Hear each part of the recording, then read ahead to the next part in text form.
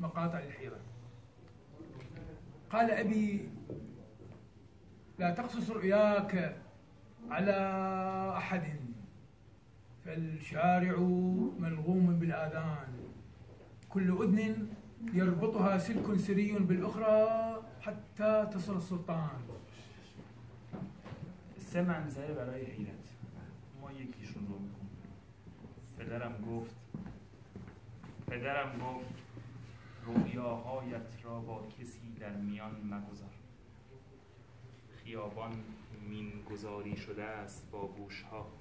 گوشها را سیمی سری به هم وصل می کند تا می‌رسد به سلطان.